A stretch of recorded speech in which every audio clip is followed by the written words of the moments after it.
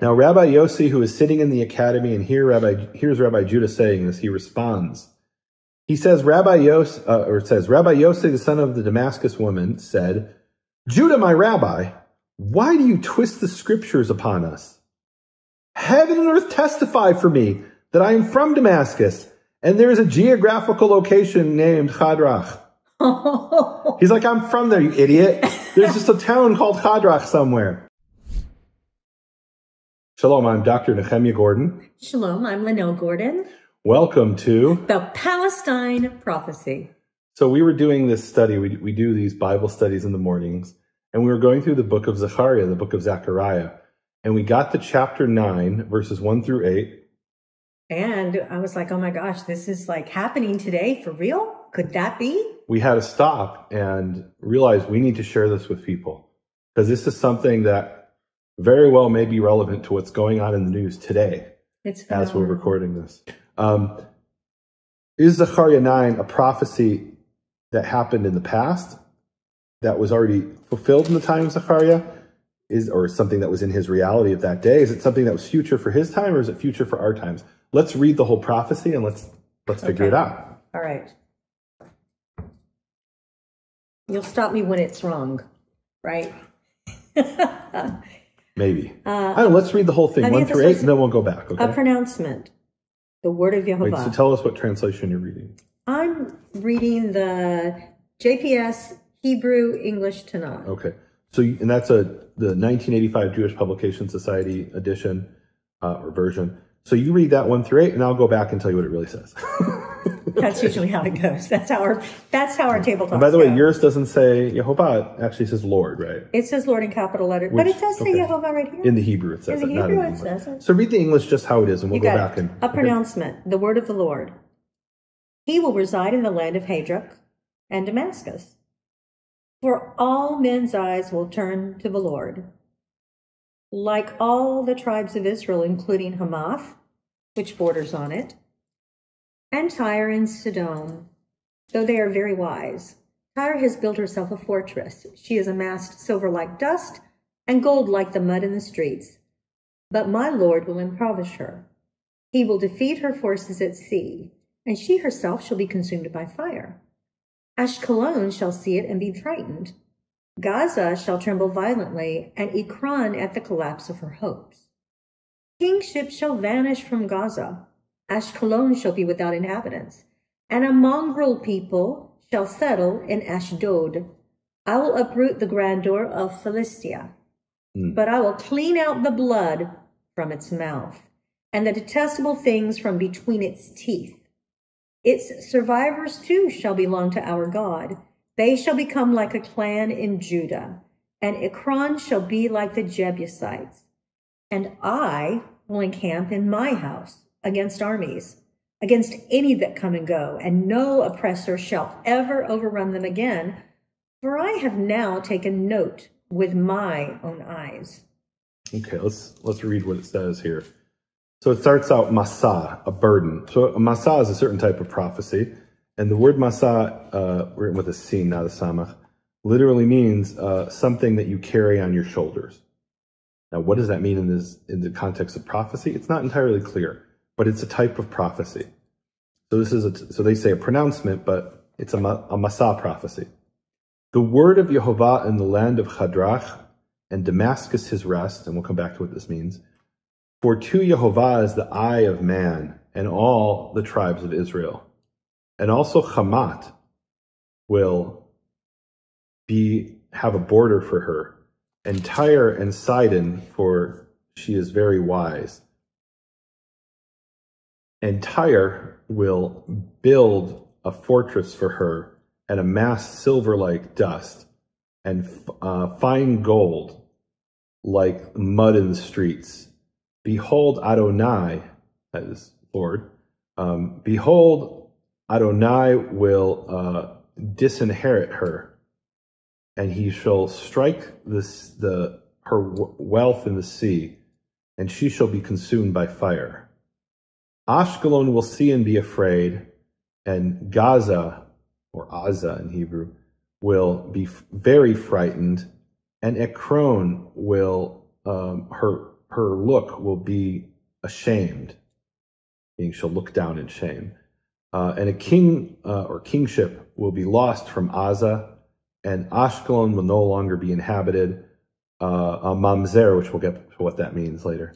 A mamzer will dwell in Ashdod, and I will cut off the glory of the Philistines, and I will remove the blood from its mouth and the abomination from between its teeth, and its remnant he also will be for our God, and he will be like a clan in Judah, and like uh, an Ekron shall be like the Jebusite, and I will encamp for my house against an army from those that pass and return, and no more, never again. I love those words, and never again will an oppressor pass over them, for now I have seen it with my eyes. So that's that's what it says. All right. So you've told me yeah. this. You've told me this that before we do any prophecy, you've Yeah. said we need context, Yeah. So we gave the context, and then we need, like you said, language, history, language, history, and language. context. Okay, so Yeah. you've given the history. You started. Mm-hmm. You've given the context, and the language is What, and I and I want to go back to the end of chapter eight. So what was the purpose of the end of eight? The purpose, like, why is God giving this prophecy at the end of eight? It's encouraging Israel that's surrounded by nations who want to destroy us. yeah. And that continues here in chapter 9. So there are these nations who want to destroy us, and he's telling you there'll be a time. And this is really, this was shocking. I mean, this shocked me, shocked me to my core. After what happened on October 7th, when Israel was attacked by, I mean, it's the worst terrorist attack in the history of Israel. I would argue it's the worst terrorist attack in the history of the world. It would, I would uh, and I, and you know, people have, have pointed out that imagine if on 9/11 Al Qaeda actually occupied large swaths of the United States and held on to them for 72 hours and proportionately killed tens of thousands of people, right? Meaning based on the proportion of the population. So Israel had over 1,400 people killed It wasn't just that. in a country that only has 9 million people. the method that it was done. Oh, I mean, horrific things. Um, things that are, are monstrous. Um, things that I can't talk about because this will be pulled down from some internet outlets. Um, so when that happened, I did not expect to then read this prophecy shortly thereafter. And you'll find out at the end, you maybe have already heard it, but if you read what it really says, it's very, very surprising. It's very apropos. I think it is. Now that's It's just apropos, me. but it's also shocking that this Yeah. is going to be the final outcome. But let's go step by step. So we have a burden, a certain type of prophecy, and it says the word of Yehovah in the land of Hadrach, so where's Hadrach. where's Hadrach?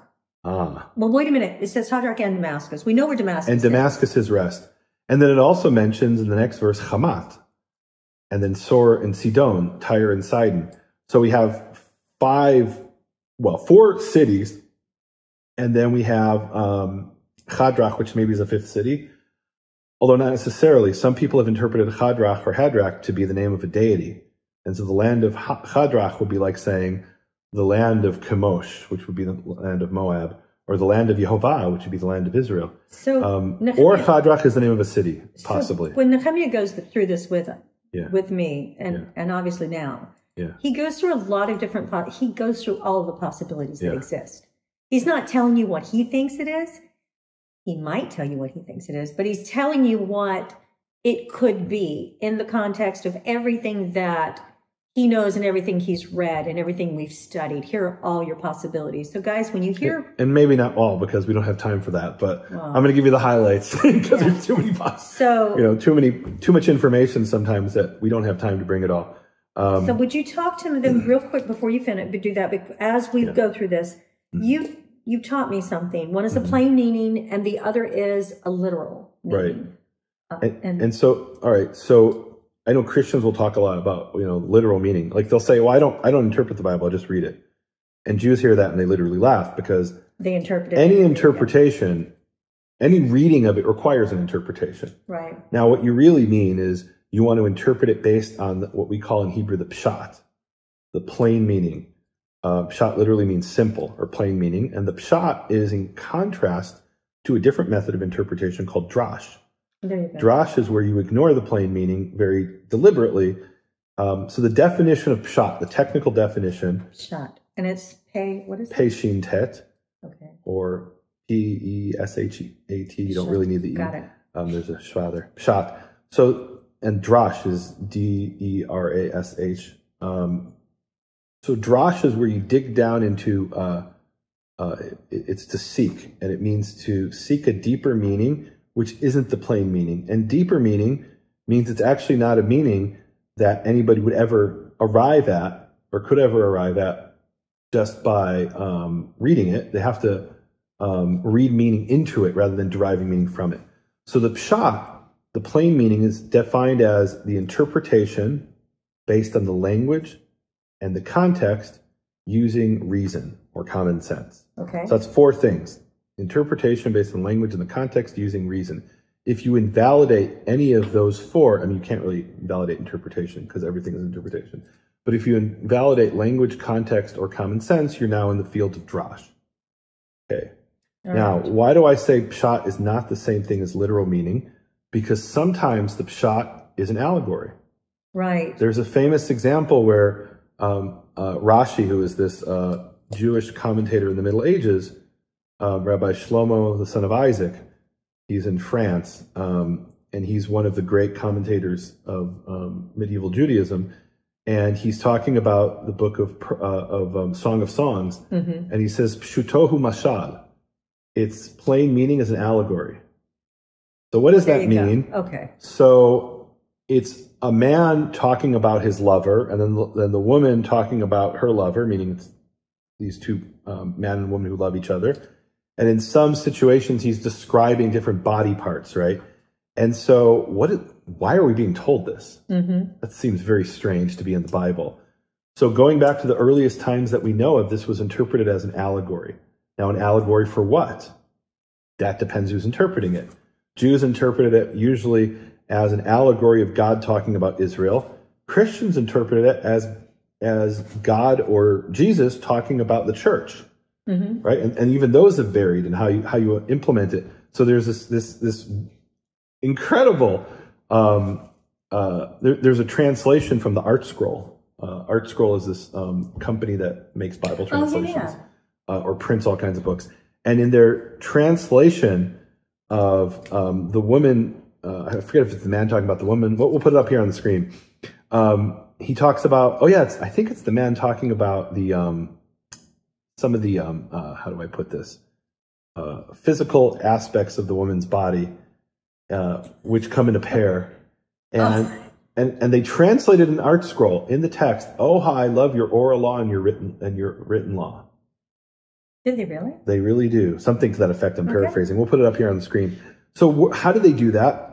because they interpret, according to them, yes, he's talking about her bodily uh, parts, but what that the plain meaning of that, according to them, is that it's an allegory for something else. Okay. And, and a better example, because maybe it is about a man and his lover, right? We don't know. Song of Songs. So an example which you really couldn't interpret literally, but it is where it says circumcise the foreskin of your heart. So that would mean you'd have to cut open your heart and take off. Foreskin's a little flap, a little extra piece that if you remove it makes it perfect. Um, so imagine if you had to take off. I just couldn't stop that. I'm sorry. Imagine if you you said, "Oh, that means to have open heart surgery," and you take off a little extra piece of your heart. And and until the 20th, 20th century, we didn't have the technology to do Yeah, open heart surgery. And now we can finally fulfill the commandment in its literal sense. Okay. But no, that, that is the literal sense, but it's not the pshat. The plain meaning is it means don't be stubborn. Right. And how do I know that? Because the other half of the verse says, and no longer stiffen your neck. Right. And they didn't have open heart surgery, so the historical context tells me it couldn't possibly mean that you need to have open heart surgery. So, the question we have here for this prophecy is what is the pshat? And the pshat could be an allegory in some cases.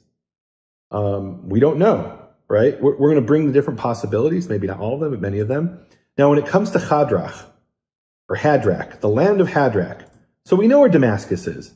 It's still called today Damascus. Right. We know where Hamat is. It's the capital of Syria. Back then, it was a kingdom called Aram Damasek, Aramea of Damascus. Right. And there was a second kingdom that today is in Syria. Was called Aram Sova, Aramea of what is today Aleppo.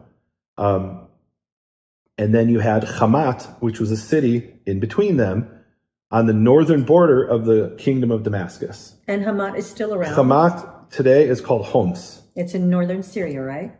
I'm going to pull it up here. Homs. It's we got to put a map up. Homs. We need a map Um, so we can show people where these yeah, Homs is in. So here I'm showing you on my map, and we'll put it up on the screen. There's Damascus, Right. and here's Homs, and here's Aleppo. Or Where's Homs? Homs is just in the middle, which is Hamat. Oh, I see. I see. so I it's about halfway, roughly, between uh, Damascus and Aleppo. So it's about an And hour then- from Yeah, I don't know how far it is. Um, it's no, no, it's much more than an hour from the border of Israel. Um, now, Tyre and Sidon, uh, in Hebrew, Tzor and Sidon, those are still cities today on the coast of um, Lebanon. Lebanon. Okay. And, and we'll get back to Tyre um, later on. But what? So these are four cities that we know about, and then there's Chadrach. What is Chadrach? So there's this really interesting discussion about what Chadrach is in the Talmud. And, before we get to that, or not the Talmud, in the Sifrei, which is an early midrash from the second and third century, Mm-hmm. Sifrei Deuteronomy, um, section one, uh, on the Torah portion of, of Devarim. So, so before we get to that, we have what's called a methodological problem. And what do I mean by that? So you'll see people, they'll come up with a hypothesis, a theory about what Chadrach is. And then the other people will come along and say, well, we know Chadrach is XYZ. Well, no. Whoever said it was XYZ was based on Zechariah 9 1. You can't then read that back into Zech- Zechariah 9.1 And say you know what it is? and say, this is how we know what Chadrach is. How many times is Hadrach in the Bible? Once. And where is it at? Here. This is it. This so is it. we don't have any other places in the Bible that talks about and not just in the Bible. We don't, for sure, cert, with great certainty, have like we can't go today to a map and say where's Hadrach. We don't have that. It's nowhere, Okay. right? Now there's a place mentioned in Assyrian sources, which is Hataraka or Hataraka, Hatarika. It's mentioned in the Hebrew and, and um, Aramaic lexicon of the Old Testament, or known as HALOT, right? So it's mentioned in the dictionary. Mm-hmm. Uh, is that Hadrach that we have? Maybe, maybe not. Okay. We don't know for sure. Um, so, because we don't know where Chadrach is, and certainly in ancient times, uh, the rabbis didn't know it. Now, in the time of Zechariah, I'm sure they knew where Chadrach was. Probably. But um, the um, a thousand years, 600, 700 years later, 800 years later, when the rabbis were discussing this, they didn't know where it was. And so here's the discussion that takes place. It's a debate between Rabbi Yehuda, Rabbi Judah, and Rabbi Yosef. go. Okay. And these are rabbis who are around the year 150 CE or AD. Rabbi Judah interpreted this verse. Uh, he says, Chadrach refers to the Messiah, who is sharp to the nations and soft to Israel. And so what he does is he takes the word Chadrach and says this is a word made up of two other words, just like Nehemiah means Yah comforts. Chadrach means Chad, sharp, and Rach, soft. Um, is that what it means? That seems very far fetched to me. the land of Chadrach, meaning he understands, let's read it his way. The burden, a burden, the word of Yehovah in the land of the Messiah. And Damascus his rest. Who's his? The Messiah. According to Rabbi Yehuda. Okay. Now, Rabbi Yossi, who is sitting in the academy, and here Rabbi, here's Rabbi Judah saying this, he responds. He says, Rabbi Yos, uh, or says, Rabbi Yossi, the son of the Damascus woman, said, Judah, my rabbi, why do you twist the scriptures upon us? Heaven and earth testify for me that I am from Damascus, and there is a geographical location named Chadrach. He's like, I'm from there, you idiot. There's just a town called Chadrach somewhere, or a region or a district or something. Okay, Rabbi Yehuda responds, but how do you then interpret in Damascus his rest? That's strange. Why did we, what's the problem with Damascus his rest? Why does that require it to be referring to the Messiah? And the answer is, well, let's read on, let's read Rabbi Yossi's answer and we'll find out. Rabbi Yossi responded, from where do we know that Jerusalem in the future will reach Damascus? As it is written, and Damascus his rest. And there is no rest other than Jerusalem, as it is written. And then he quotes Psalm 132, 14. For Yehovah chose Zion. I will dwell here, for I desire it. This is my rest for all eternity. So menucha, rest, in Hebrew, Rabbi Yosef understands to be a, a, a, a technical term that refers to Jerusalem. And so the way Rabbi Yossi reads it is in the land of Chadrach and Damascus, his rest, meaning Chadrach and Damascus, are now part of Jerusalem. And Rabbi Yehuda um, doesn't seem to really dispute that that his rest um, refers to Jerusalem. And I don't want to go into the whole thing, but basically the way they understood it was that um, that prophecy can only take place in the land of Israel. That's an idea the ancient rabbis had. Oh. And if and if and so the one way of reading this is the word of Yehovah is in the land of Chadrach and Damascus, his rest, who's his, the word of Yehovah, meaning its rest. Mm-hmm. Right? And so it reaches to Damascus, is what they're saying, or is how they're interpreting it. Mm-hmm. And if the word of Yehovah is in Damascus, that means Damascus is part of the land of Israel. So perhaps it means that Yehovah will conquer Syria, that part. I think it definitely means that Damascus will be part of Israel. We don't need to take or it in the Israel direction the, under Yehovah would rule Syria. That could be a part of it. For sure. No, no, there's there's almost no question that, as we'll see as we go later in the prophecy, Right. Damascus, Tyre, Sidon, and Hadrach, wherever that is, will be part of the land of Israel. Um, when all of mankind, including Israel, look towards Yehovah. Um, let's talk about that for a minute. It says, "For to Yehovah is the eye of man and all the tribes of Israel." Right. So the word and is the Hebrew letter vav. And the Hebrew word letter vav is very dynamic. It's not that it's vague, it has lots of different No, I meanings. said vague. I'm just vague. Oh, va. Okay.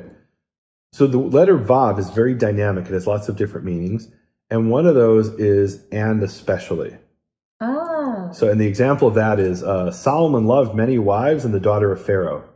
Mm, isn't that included in many wives, the daughter of Pharaoh? Right. It means, and especially the daughter of Pharaoh. So here it says, For the eyes of man and all Israel are to Yehovah. It means the eye of man and especially all the tribes of Israel are to Yehovah. That's what that means. So all mankind in the future will look to Yehovah, including the nations. And at that time, Damascus will be part of Israel. Now, does it mean Damascus is conquered? Let's leave that, okay? We haven't decided that yet. Um, let's let's go on to ver- can we go to verse two, or yeah. do you have more No, questions? no, no. I think. Uh, no, I think that's fine. Okay. Um, Oh, I want to finish up with verse one. So, what's the takeaway from this strange discussion about, you know, he says, he interprets it, Chadrach as the Messiah, as, as like the kind of title of the Messiah or something, meaning Chadrach, he would interpret Rabbi Judah, would, Rabbi Judah would interpret Chadrach as the one who is sharp to the nations and soft to Israel, right? The one who comes to judge the nations and, and maybe punish and, and, and smite them. And to Israel, he's soft. Uh, I don't know if that's what the Messiah is going to do or not. We'll find out. Um, so, and Rabbi Yosei responds, this is a ridiculous interpretation. You're twisting scripture upon us, he says. mhm. What my takeaway from this debate is, according to both interpretations, this is a messianic prophecy. Okay. Whether Chadrach is a cipher, a title of, for the Messiah, or whether we just understand it as a, as a literal place, we're talking about these places will become part of Israel. And more importantly, all mankind will look to Yehovah. right. And all of Israel and the eye of man will look to Yehovah, and Damascus will be the place of the rest. And I guess we do need to talk about that. Who's his rest? So it could be the word of Yehovah. We talked about that. It could be his rest, could be Jehovah himself. hmm In the Middle Ages, there's a rabbi named Yosef Kara in the 11th to 12th century France, and he says it's the Shekhinah. Now, what's the Shekhinah? That's what Christians call Shekinah glory. Shekinah glory. Now, really, what is the Shekhinah? So the Shekhinah means the dwelling, and it comes from in the Tanakh where it says that Yehovah will choose a place where he will cause his name to dwell, and that later becomes Jerusalem in 2 Samuel 24. Um, so the place where Yehovah causes his name to dwell, the word dwelling is Shachen. And so Shekhinah is the indwelling of the name. In the Tanakh, it doesn't use the word Shekhinah. It- it's a verb. It causes his name to dwell. Um, it's not a noun. The noun in the Tanakh is Kavod Yehovah, the glory of Yehovah. And that's where Christians, they put the two together and they get Shekinah glory. Right? But in the Hebrew as well, you'd say Shechinat Kavod. In Christianity, um, that I would argue, or I think I would say this that in Christianity, um, that's the Holy Spirit, That's what I was thinking. right? Meaning, it, what is the Shekhinah really? What do Jews mean? We mean it's some way that we can sense Yehovah in a tangible way that we can't. be- In a, you know, he's infinite, right? So he's not actually in Jerusalem. He's everywhere. It's, Solomon prays the prayer: "The heavens can't hold you, and the heavens beyond the heavens can't Right. hold you, let alone this house." Right. So why do what do you mean he causes his name to dwell there? We sense Yehovah in a way in Jerusalem we don't anywhere else in the world. And there's one more way to look at this. Yeah. Uh, uh, could this he be a bad guy? And Yeah. his rest is in Yeah, it could, it could be the enemy that God is going to fight is in Damascus. prophesying against What Christians call guy. the, it could be what Christians call the Antichrist will be in Damascus. And at that time, all mankind will look to Yehovah, um, who will then defeat this, um, this figure who's in Damascus. That's a, totally a possibility. I, I want to finish up the, this, um, Shekhinah thing. Mm-hmm. So, so the explanation of how do you get Damascus as where the Shekhinah is? The Shekhinah is in Jerusalem, not in Damascus. Right, right. So this goes back to this idea. Um, it's from Deuteronomy 12:9, where it says, "Until now you have not come to the rest in the inherited portion." And rest there, if you see how that plays out from Deuteronomy 12:9 later in in, in Kings and uh, really Joshua through Kings, what you see is that um, when they come to the rest, that is that Jerusalem is the capital of Israel, and that's when the temple is built. Right. And so the fulfillment of Deuteronomy 12:9, where it says, "Until now you have not come to the rest of the inherited portion," isn't just you go into the land. That you have rest when Jerusalem is finally the capital of Israel. That's how they interpret it. Um, I think that's definitely how it's understood in, in like I said, in Samuel and in Kings, Right. um, or how it's presented. Um, and in that place, you have Jerusalem as a mega city. A mega city. A mega city? Uh, it's a mega city, right? In other words, Jerusalem reaches all the way to Damascus. if you know, you know. Yeah. Um, and look, we have in the book of Ezekiel a description of Jerusalem as being much bigger than it is today, or having different borders, borders than it did in ancient times. Um, another possibility is that um, the burden prophecy, that is, it starts off Massa, it will apply to Damascus, and that's what it means. It'll rest upon Damascus. Oh, Um, so, so these are a bunch of different possibilities that have been suggested over the centuries. there's one more that we were talking about when we talked about the bad guy. There was one more thing that we talked What was about that? it. You were talking about uh, maybe it's bad guys in the area of Syria. Well, I'm just going to talk about right now. Who are the bad guys in the area of city of the city right now? Well, I mean, uh, uh, you know, Syria is ruled by the uh, Assad family, who who treat it as their personal fiefdom. Um, you know, the the father died and the son took over. Um, he inherited the country from his father, and when there was a rebellion against him uh, in this civil war, something like six hundred thousand people so far have been killed. And of course, there's there's protests all over the world for all the innocent uh, civilian Arabs who are killed. No, there's not. Nobody cares. I, I know. I, Right. They only cares when they only care when cares. Jews kill Arabs or Muslims, not when Muslims kill Muslims. So, but there's a civil war right now in Syria, and they're pretty evil. The people in Syria. You wanted me to remind you when we went through here about Yeah. that sneaky story of ISIS um, in the civil war with the Syrian government.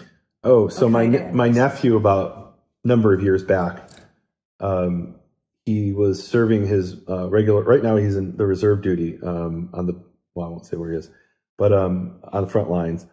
And um, but years back, when he was doing his regular army service, his three year stint, he um, was on a fortification facing Syria in the Golan Heights, and to their right, from their from their the Israeli base, if you look to the right, that was where ISIS was based. Mm-hmm. And if you look to the left, that was um, ISIS's arch enemy, who it was at the time, called the Al-Nusra Front, which was Al Qaeda. Oh, okay. And we Right. think of like, oh, these are you know fundamentalist um, Islamists who want to destroy Western civilization. Well, that's true, but they're also arch enemies against each other, which is hard to fathom. For uh, for me, it's hard to fathom that you have ISIS's worst enemy isn't America; its worst enemy is actually Al Qaeda, or the Al Qaeda affiliate that was in Syria called Al Nusra Front. So, um, what the terrorists on both sides would do is they would sneak out of their base Mm-hmm. and come between, let's say, uh, Al Qaeda would come between ISIS and Israel and start firing at Israel. So Israel would fire back and the hit, wrong people. and hit ISIS. Oh, hit their enemies. And then ISIS would go between Al Qaeda and Israel, fire at Israel. So Israel would then hit Al Qaeda. Qaeda. And so you have all these evil people in Syria, right? You, you know, sometimes they present it, you know, that uh, in the West, they present it as um, uh, that the, the rulers of Syria are evil and they're, you know, I mean, they do horrible things. They really do. They took literal barrels that they filled with explosives and tossed them into, into civilian populations because it was a neighborhood that was not accepting the authority of the government of Syria. So let's just kill a bunch of people until they surrender or die. And they When killed. was that? that was this. That's going on. That's the Syrian civil war. That's been going on for the last something like since over ten years. How many people have died? Over six hundred thousand. And and there's nobody. Let's say nobody in the Muslim wor- world cares apparently, because Are they're they not. Muslim? Are they Oh Palestinian? yeah, no, what are they? Well, Palestinians as well, but there are all kinds of different Muslims. There's Palestinians. There's um, Shiite Muslims. There are Sunni Muslims. There's something called Alawites. and this six there hundred are- are they Muslims that are dying? Mostly Muslims, yeah. There's also Druze, um, so some Druze who have died as well, probably lots. Um, but they're all fighting each other. So there's no good guys in Syria. They're all bad guys. And um, could this prophecy apply to some one of the groups in Syria who will might tomorrow we wake up and find out they took over Damascus? Absolutely, that could be the case.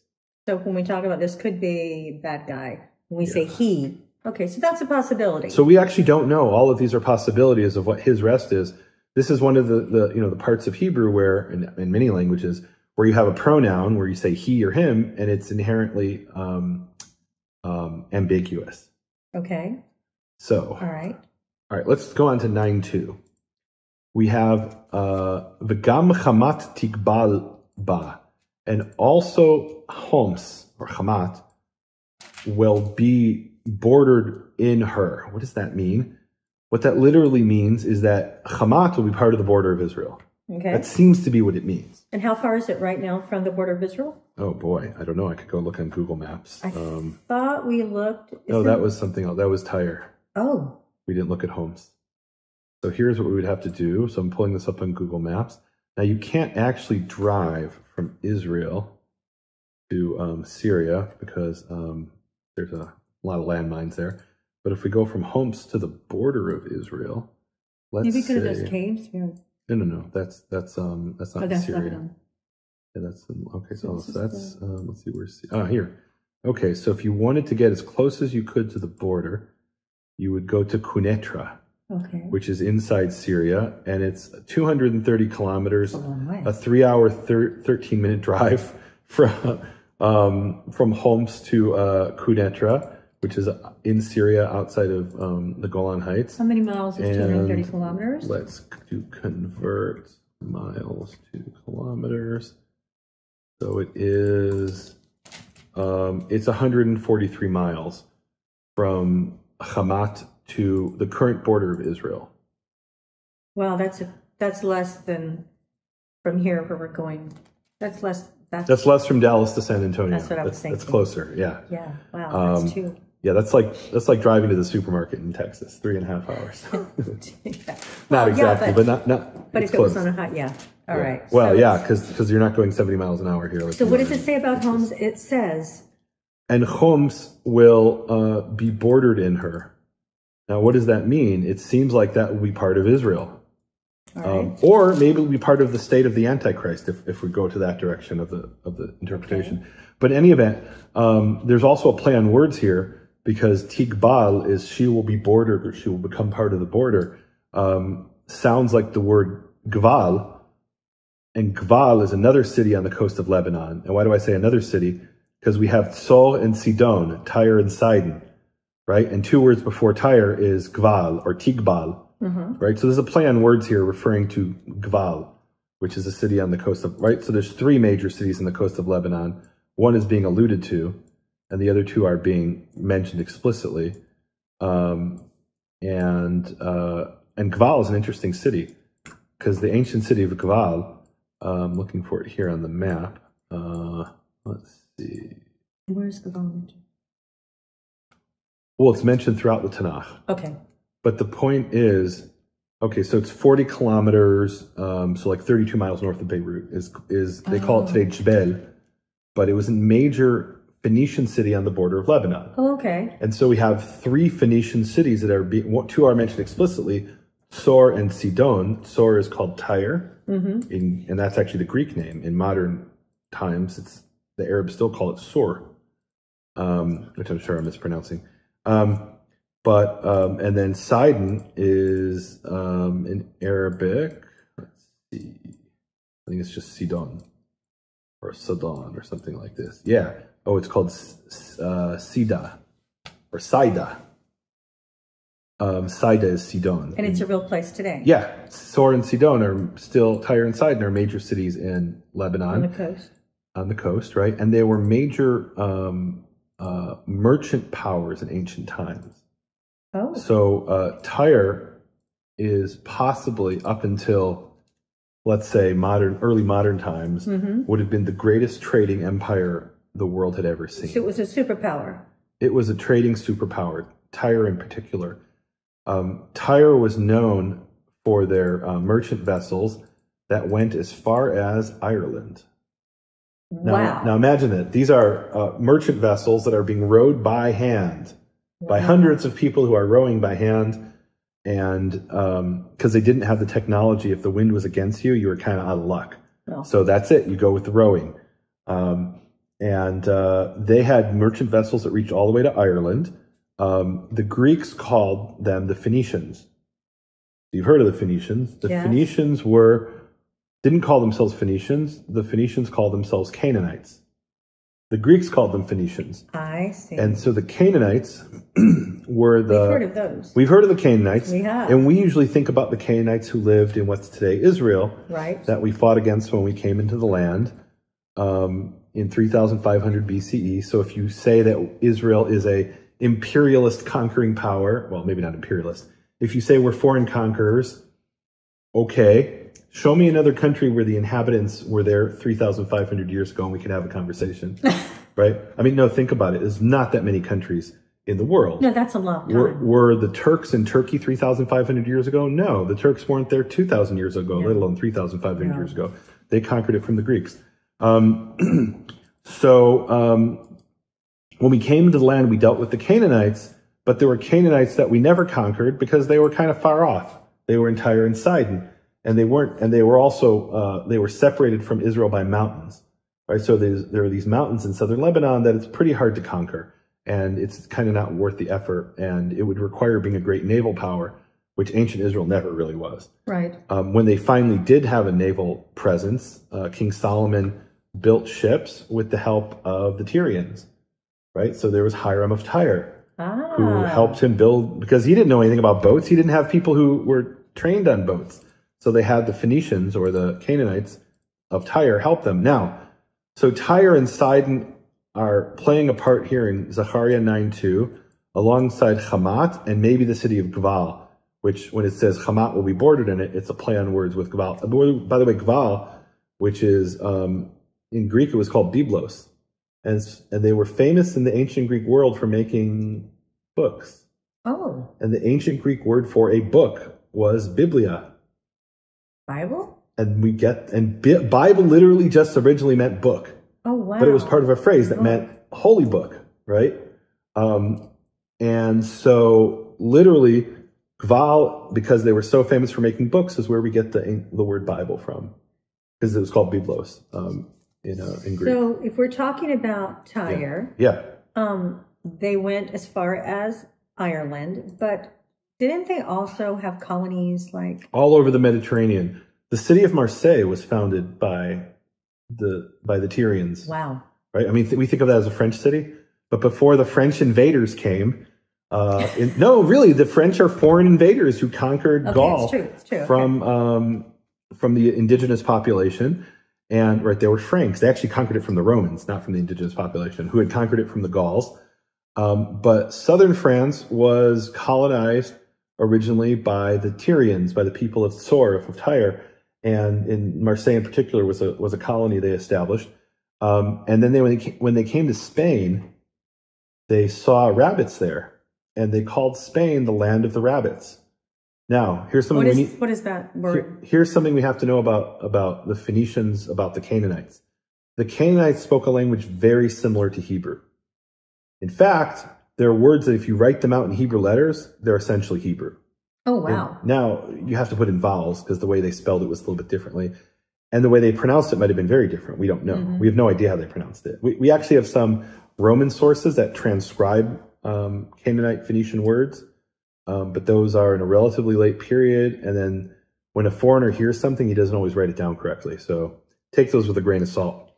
Um, so uh, if you looked at the names of some of the uh, the Phoenician Canaanite uh, rulers, you would say, "Oh, tho- those are Hebrew names." Oh, So, for example, who's the most famous um, uh, Phoenician or Canaanite in all of history? Hannibal. That's only because I told you that, right? That's the only reason I know. Hannibal Barca. It's, Okay. it's somewhere in our in my notes. Yeah. Yeah. So Hannibal I forget is, that because is the the. Right. So he came with elephants into famously Hannibal invaded Italy with elephants and they died crossing over the Alps. Most of the elephants, um, maybe all the elephants, I don't remember, and most of his a lot of his men died as well. So um, so the the Phoenicians um, or the Canaanites they had this guy named Hannibal, and what is Hannibal in their language? He was called Hannibal. And Hannibal is actually just the name Hananiah, but for the religion of the Canaanites. So Hananiah means Yehovah has grace, has mercy. And there's a, a related name in Hebrew, which is Hananel. God has mercy. El has Oh, mercy. Okay. But if you worship Baal, then you're Hanibal. Zerubbabel? Baal has, no, no, that's something, that's Zerubbabel. That's Oh, that's un- unrelated. Um, Hanibal means Baal has mercy okay. right? So why is that a Hebrew name? Because the Phoenicians spoke a language that was very similar to Hebrew. Um, why is for a different discussion, So, but you were saying that they had rabbits in Spain. right? And so when they came to Spain, they called it Eretz, and they didn't know what rabbits were, but they had a, a, a animal similar to rabbits in the land of Canaan, which is called a hyrax in modern times. Oh, I have videos of those. They're, They're, really, cute, little guy, and, They and they and they kind of chew on stuff like the rabbit, like like that little chewing, and it's described in the Torah as chewing its cud. What they're actually chewing is, can I say it? They No. poop, they they poop and then they eat their poop I don't want to know. They're too cute. because the first time they they the food passes through their digestive system, it can't fully be um, absorbed, Oh. so they eat. Um, it's not exactly poop, right? It's semi Okay. semi digested food, which they eat again and chew on, and then they digest it a second time. So um, both rabbits and hyraxes do it. So they called it the land of hyrax because the rabbits they weren't familiar with reminded them of hyraxes, and the word for hyrax or rabbit is shafan. okay. And so they called it Eretz HaShafan. In Hebrew, it would be Eretz HaShafan. In uh, Phoenician, it was called probably something like um, Arad uh, uh, or something like that, right? We don't know exactly. We have guesses of how they pronounced it. Like the show was probably something like the, maybe. In any event, um, so, and that's where you get the name Hispania. Hispania is Hashafan, the hyrax or the rabbit So- the land of the rabbits. So the point is, these Tyrians were all over the world. That's important for understanding this Right. prophecy, Right. Because he's talking about this superpower here. They build a fortress, and they have silver like dust and fine gold like mud in the streets. What are we talking about? There's some economic superpower, which is a trading superpower. It goes all the way to Ireland with their trade, and they have colonies as far away as Spain. The most famous colony of the Phoenicians, of the people of Tyre, was Carthage. And Carthage was known as New Tyre. Oh, okay. And when Tyre was finally conquered by Alexander the Great, um, they were cut off from the. Um, well, actually, they were conquered by the Persians before that. When they were finally conquered, they were cut off from the, the colony of Carthage, of New Tyre, was cut off from the motherland, and it became an independent country, an independent city state, and then it took over a lot of the Carthaginian. Excuse me, it took over. Carthage took over a lot of the um, Phoenician colonies, and that's how Carthage became this great superpower in the Western Mediterranean. That then later fought the Romans, and what made the Romans an em- a great empire, what led to them becoming a great empire, was was defeating Carthage. When they finally defeated Carthage, they then ruled Spain and southern France, and eventually they ruled what today is Tunisia, where Carthage was located. Wow. uh, which and actually the the the name for Carthage, the region in which Carthage was called was Africa. That's what they called it, Africa, and uh, that's what the um, the Romans called it. The Phoenicians didn't call it Africa, and by the way, Africa didn't originally refer to the continent. It only referred to the area around Carthage, Wow. And it comes from the Hebrew, which is also Canaanite word afar, which is dust, the land of dust. So much goes back to Hebrew. Yeah. So much Yeah. goes back to Hebrew. So Africa comes from the Hebrew word afar, which means dust, um, the land of the the soil, the dust. So now we can see why they're talking about Tyre Yeah. amassing this silver like dust. Yeah, and the they're a massive like empire. blood. But Now, now here we have to ask a question, and I don't know the answer. It's a question. So this is a future prophecy. How do I know it's a future prophecy? Because it ends with. Well, we'll see how it ends. It ends with what's clearly a messianic. event. right, that I that I get. But right here is we're talking Well, and so here, the question I have here for verse 2 and 3 is this talking about Tyre in ancient times? Or is it talking about Tyre in the future? Right now, Tyre is um, a third world country. They li- an so, impoverished oh, it- country right now. incredibly impoverished. Here's how bad it is in Lebanon, because Tyre is part of Lebanon. right. In Lebanon, people rob banks to get their own money out of the bank. Oh, you said that before. And that's not an exaggeration. They literally go to the bank and they say, sorry, we can't give you your money. We can't afford it. So people will go rob the bank and say, I'm not trying to steal money. I want my money. That's how bad it is in Lebanon. So, so how do we go from that today to Tyre building up a fortification, amassing silver like dust and Well, look how fine gold like the why- mud of the streets? So is that ancient Tyre or is that Tyre in the future a thousand years from Why now? Why can't it be? Why can't it? Why can't part of this prophecy have already been fulfilled and we're waiting for the rest? I mean, why It can't absolutely could be. Okay. It's also possible that here Tyre, that the pshat is an allegory.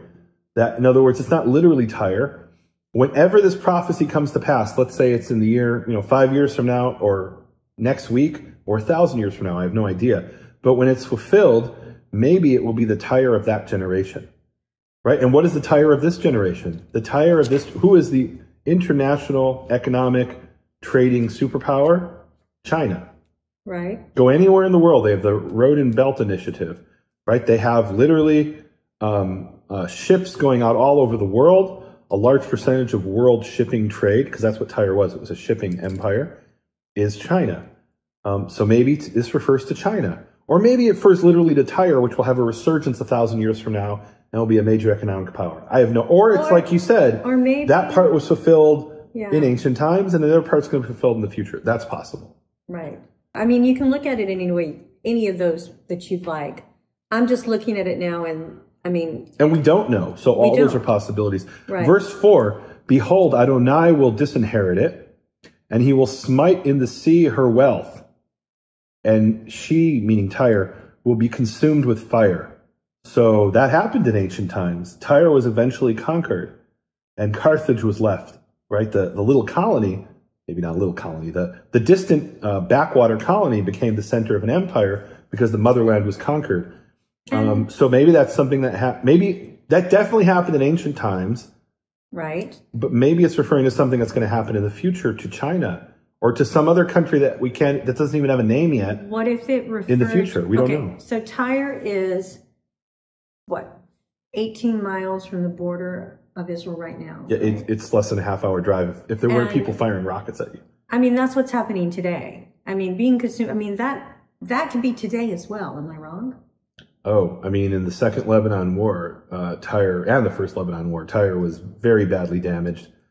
Um, in the next war, it could be completely flattened, but it doesn't have a massive. Uh, so here it says, and he struck in the in the sea her wealth, and sh- what does that refer to? She doesn't have too much wealth, Well, she doesn't now. and she certainly doesn't have silver and um and and gold No, like dust. no. So- but but verse four says, but you Mhm. but my Lord, I don't know, It's Adonai, yeah. will disinherit her, impoverish her. Right. Well, it doesn't say disinherit. He'll he'll disinherit her, right? So whoever's living there will. It does say will- disinherit. It does say this. Yeah, so right. so what that means is somebody's the heir of that land, and they lose the rights to that land, and it's given to somebody else. That's what the word means. So let's just wait. and So someone else will inherit that land. Right, someone else will inherit the land. He will defeat her forces at sea, and she herself will be consumed by fire. Okay. Yeah. Um. So it's either the literal Tyre or the spiritual Tyre, the, the future metaphorical Tyre, the current metaphorical Tyre, perhaps Okay. some great trading empire. you going to five? Let's go to five. Ashkelon will see and be afraid. Come a minute. Ashkelon. I know where Ashkelon is. Yeah. I've been to Israel. It's in Israel, right? It's in southern Israel. Yeah, so tell me the about the history of Ashkelon. So there were five Canaanite cities, and this brings us to the Palestine prophecy, right? Oh. This part of the prophecy is about the Philistines. And but here it only says Ashkelon, it doesn't say anything about the Philistines. Okay, why do we say Philistines and Palestinians? Are we talking? Well, let, let's say that. Let's All talk about the historical Philistines. Okay, the historical So the Philistines. historical Philistines, before we get to the Palestinians of today, the historical Philistines um, had what's called a pentapolis, or a five city. There were five city states, and each one of those city states was like a little kingdom. And the five city states were, uh, and they were all in the southwestern area of Israel in the coastal region: Mhm. Ashkelon, Gaza or Aza, Ekron, Gat, and Ashdod. And the most famous Philistine, of course, is Goliath, who's called Goliath Hagiti, the Gittite. Right? So he's from Gat. That's what he means. He's a Gittite. Okay. Um, we have Achish, the king of Gat, who uh, David is living with. oh, right, right. When he was pretending to be crazy. Yeah.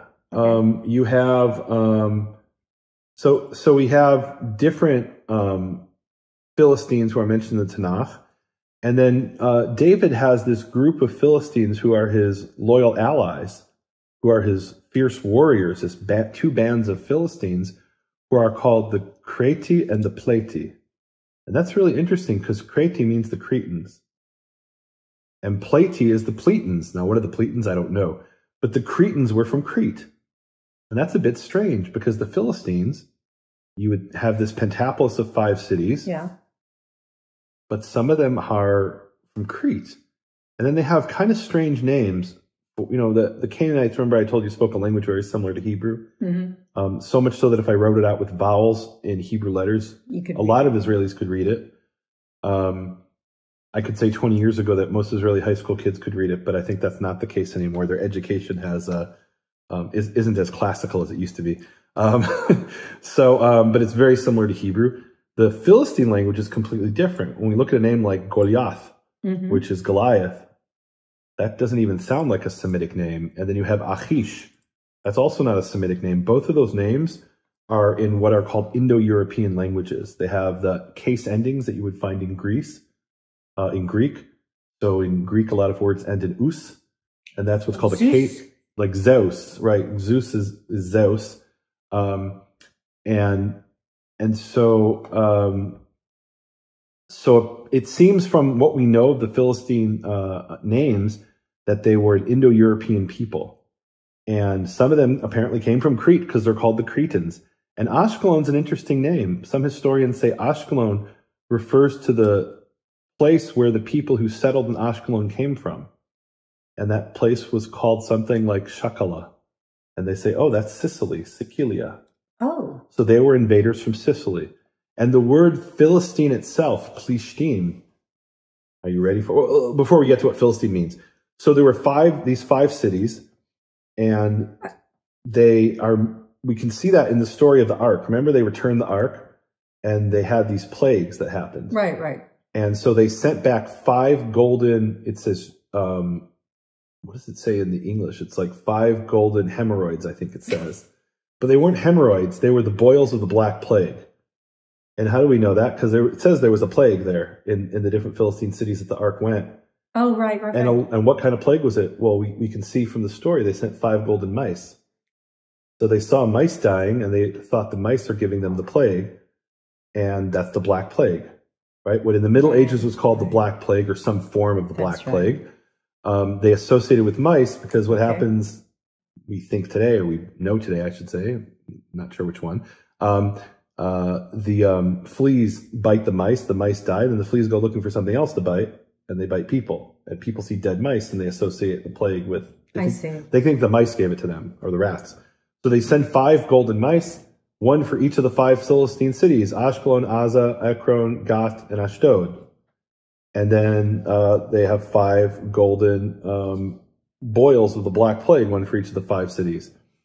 So these five cities were called Plishtim, Philistines, and the Plishtim come from the Hebrew word palash, which means invader.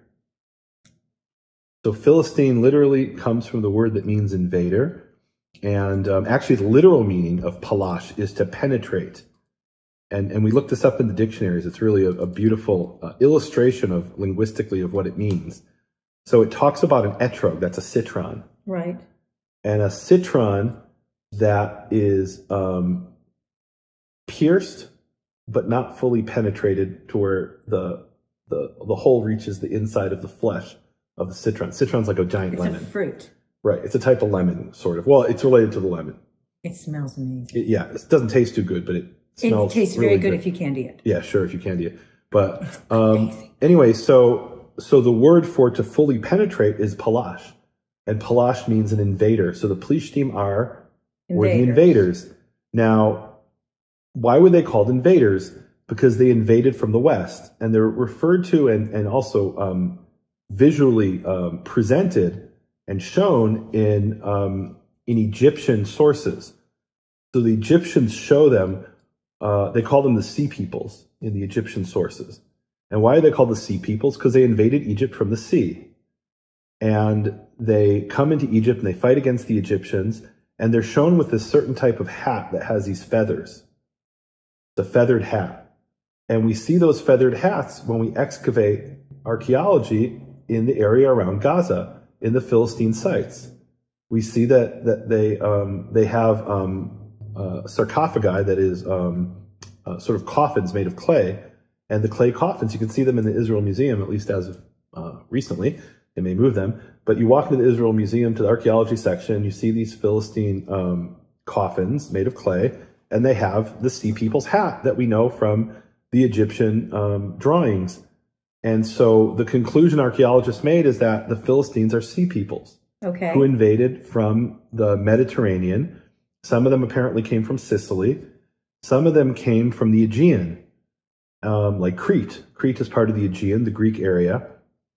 And what happened is there was a, um, this is what they believe happened. We don't know for sure exactly why it happened, but the explanation of archaeologists is that um, there was a, a volcanic eruption on the island of Santorini, okay. also known as Thera or Terra right. and most of the island exploded and it caused number one ash uh, but also it, it, ash in the sky that caused all kinds of um, um, Things to die when it does well, that. you know it caused all kinds of um, what's the word climatic problems Right. right so all of a sudden you didn't have you know you would lose summer That's what I'm right saying. or A you'd of and you'd have a very cold because of it. winter Yes, exactly. and crops fail Right. and there's a tidal wave and it causes the collapse of what's known as the Minoan civilization that I mean, archaeology is called the Minoan civilization Okay.